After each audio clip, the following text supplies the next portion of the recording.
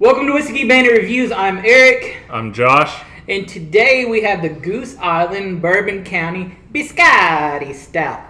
Um, can a whiskey drinker enjoy that? We're gonna find out. Let's drink on that.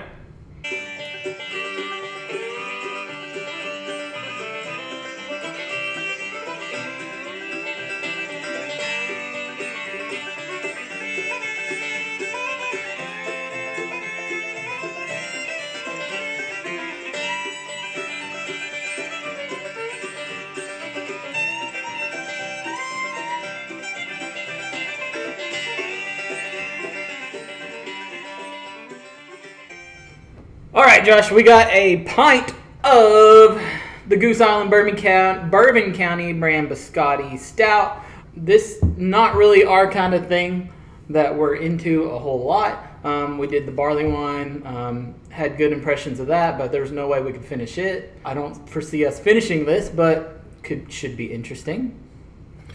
Yeah, I'm still excited to try it. You know, I just, I'm always interested to kind of see how flavor profiles vary from one thing to the next, and especially if you involve any sort of bourbon barrel process on whatever it may be. So, you know, it's not, like you said, it's not necessarily our realm of expertise by any means, but Not at all. uh, and um, you can let us know in the comments if we're drinking it uh, too cold or or not cold enough, or if we don't really know anything about uh, beers or ales or stouts because we don't.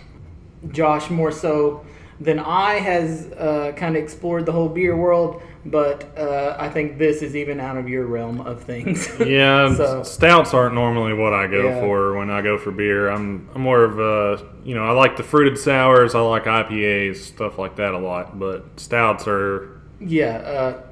They're- right, right off, I'm a little worried about this. Um, but I, I noticed that too. uh, it it has on the back back here that it's got notes of black licorice, um, so that's a little intimidating right off right off the bat. But you know the other notes that on here pretty pleasant. You know, buttered toffee, cocoa. So, you know, let's let's just Okay. see what we can get out of it. Yeah, those are things we'll be looking for. Um, yeah, the the licorice definitely um, not something that I want to be paired with bourbon. Really. Um, now, Goose Island, where are they from? They are from Chicago, if I'm not mistaken. Yeah, Chicago, Illinois. Um, and it's my understanding, just through kind of a quick uh, search, that for these bourbon aged um, ales and stouts and whatnot that they do, they team up with Jim Beam and use some Jim Beam barrels. So um, it- we'll see about that. Yeah. Um, you've seen our Jim Beam videos, I'm sure. Uh, If so- not, it didn't score well. they did not score well. Um, so we'll see. Um, I'm a little scared. We'll give this a go. Oh my. That is as black as coffee. You know, I expected it to be dark, but that poured much darker than I That thought it was going to. is a very dark liquid. I can go ahead and tell you I'm probably not going to drink all of this. But here at the Whiskey Bandit reviews, we will not be turned away from anything that has the name bourbon in it. Um, we got some Yip cider uh, snifters here from a good buddy up in Canada. Sent us these down, so these these are probably my coolest glasses I have, really.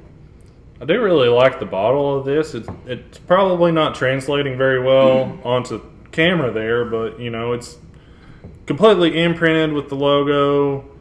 You know, the Bourbon County information and stuff on here. You know, it's got that kind of raised texture to it. Yeah.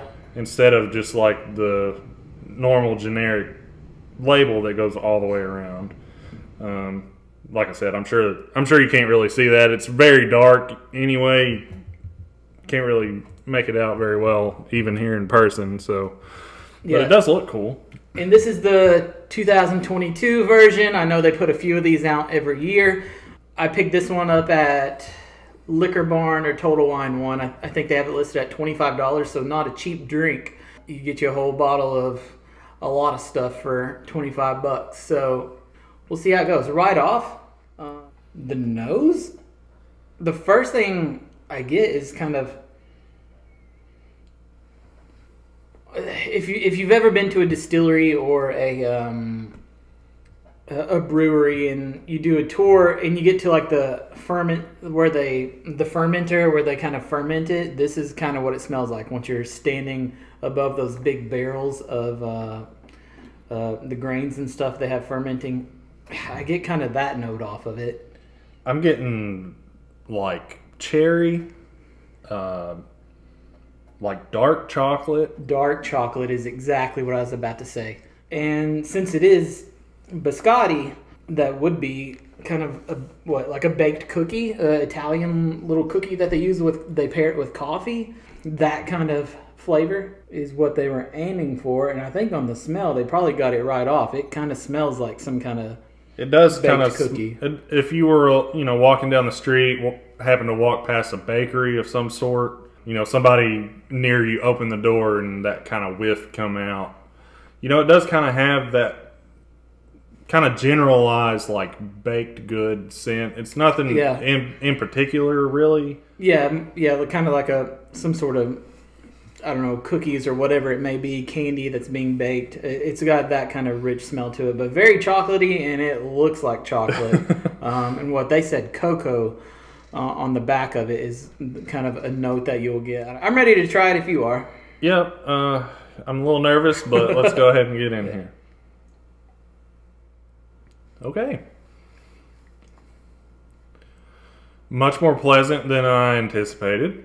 yes it's not as repulsive as i thought it was going to be just was- from having any stout that i've ever had has been just so strong and kind of maybe even bitter Yeah. that uh It definitely doesn't seem to have that like harsh bitterness to it, like you were mentioning. Um, you know, it is still obviously very dark, so you know there there definitely is uh, you know a little bit of that bitterness there, but it's definitely not nearly as harsh as I was expecting. You know, I did kind of pick up initially those notes of cocoa. I think that was probably the first thing that I was able to pick up off of that. the first thing for me is right off the tip of the tongue. It's very sweet and it's kind of like just a pop, like um, it, maybe it's like carbonation, like that kind of thing that you would get out of a soda, um, but very sweet at the tip of the tongue as soon as you taste it, um, and it's kind of like that. It's kind of like chocolate milk, but a little sweeter, like the sweetest chocolate milk you've ever had. Yeah, I could I could see that. You know, I'm I gotta be honest with you. This is actually pretty good. This is pretty good. Um, just because of how kind of heavy and dark it is, I don't think I could drink the whole thing, but this is definitely something that I enjoyed more than I thought I would. Absolutely, and I could definitely see, like you said, that you're not going to drink a lot of this. It's it's dark, it's heavy. Um, flavor profiles though are pretty good. I could definitely see this being like paired with a nice dinner. Um, you know, something just kind of sip on. But as far as you know, if you were trying to have a good night, uh, Yeah. maybe, Uh, maybe this isn't the one. But I'm really impressed just by how enjoyable the flavors are of it because I, I thought I was going to be repelled by this. But um, it, it's good. Uh, you definitely get, like, we keep coming back to it, but that really kind of cocoa chocolatey taste. Yeah. Which you would kind of. And, and I guess it really does reflect that um, biscotti that they were going for there because it, it's got like that cookie um, chocolatey. It's like a cookie covered in chocolate that's been like crumbled up and poured into this. Yeah. Um, Yeah, it definitely does. Uh, one thing I want to touch on, since it has, it says on here notes of black licorice. Do you pick that up at all? no. I don't either. I don't know if we're just kind of blind to that kind of part of the flavor profile or not. Um, but luckily for me, because I mean, I'm not the obviously not a huge fan of black licorice, so uh, that that probably would repel me a little bit more. But I don't pick that up. It's very chocolatey. Yeah. I think some of the other ones kind of note that they taste like black licorice, but so does this one. But it, it doesn't. Not even a little bit. It tastes like a chocolate cookie. Yeah. Um, exactly what they were aiming for. Yeah, I mean, you take some kind of just kind of basic cookie biscuit, like some sort of scone type thing or whatever. If you've got some like chocolate drizzled on it, something like that. Uh, maybe some chocolate filling in it, whatever. But I mean, I hate to keep coming back to chocolate, like you said, but that's just what is. sticks out to I mean, me. and it looks like it. Yeah, Uh, so I'm not big on coffee. You are. Um, so when I taste this, I don't like coffee unless it tastes like something else. Yeah. So this kind of tastes like a coffee that I would drink, um, and iced. So do you get kind of like a little bit of that bitter coffee-ish kind of taste? I don't know if you do, but Yeah. I do because I don't drink much coffee. I, I definitely get a little, like I mentioned earlier, it's not as bitter, definitely not as harshly bitter as I was expecting. There is still that bitterness there. I, I do like pick up a little bit of the coffee in it. Um, but, you know, I'm pulled much more in the sweetness direction Yeah. of this than than anything else. Um, any of the bitterness that's in this drink is, you know, short lived. Like it doesn't just kind of sit on your tongue and start to kind of taste weird, anything like that. Like it's just it's sweet to me, very Yeah. sweet.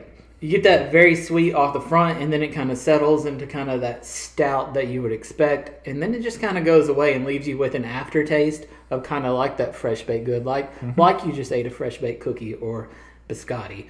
Um, so I think they nailed what they were going for on this. Yeah, I do too.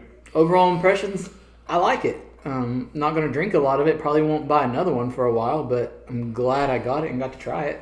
Yeah, me too, for sure. It's definitely, especially if you like stuff in that kind of wheelhouse flavor wise, I would definitely recommend picking one of these up and trying it. And with us being a whiskey channel, um, do you pick up any bourbon in that?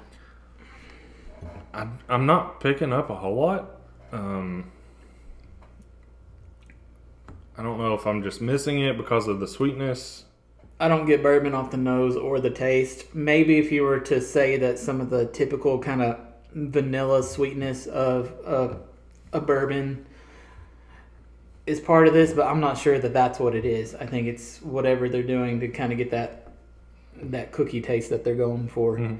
So, as far as it being a bourbon barrel aged, maybe that's just for the alcohol volume, which uh, we've got 14% on this. Yeah, 14%. So, yeah, if you drank that whole thing, you'd probably be feeling pretty good. Yeah, The whole pint. your belly would not feel great. That's for sure. Um, No. it, it would. It would. That much of this would sit Sticky. very heavy on your stomach. We don't have a lot of these so far scored, um, so we'll get to that. We only have one so far. It was the the Bigfoot, um, and that we got at an eight point one five. So for a score on this, it's difficult because I don't know what like a nine would be in this. What a what what an eight is, what a seven is. So I guess we're establishing that. Yeah. Um, You know, that's kind of what I tried to do when we scored that uh, barley wine last time. It's just kind of based on the other bourbon barrel stuff that I'd had in the past. But I agree, it is definitely hard to put a score on something when you're not entirely sure what, exactly what the scale is going to be. So, So, with that being said, I'm going to rate this a 7.8. I'm laughing because I was going to say 7.8. So, All right, there we are. We should have wrote it down. Um, so we're sitting at a solid 7.8 for this. Um, definitely something that you should try if you have the opportunity to. I don't know if I'd pay $25 to try it again, but that's just kind of how much these things run. So keep that in mind. Um, it is good if this is your avenue of things that you like. This is definitely one you need to try. But coming from a whiskey drinker, I'm glad I've tried it. Yeah, me too. Uh, you know, it's it is really good. It's very pleasant.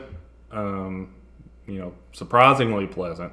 So, like you said, if you can afford it, pick one up, try it.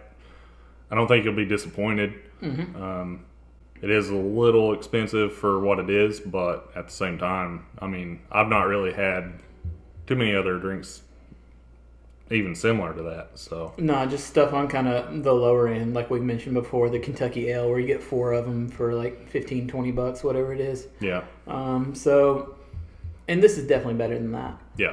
Um, but those are a little easier to drink than this. So there we have it, the Goose Island Bourbon County Biscotti.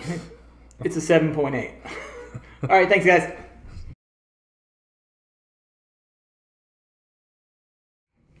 It's a biscotti. Biscotti. Biscotti. Remember, you got to do both T's, man. Biscotti. Biscotti. Chicago. It's from Chicago. Chicago. Okay. All right.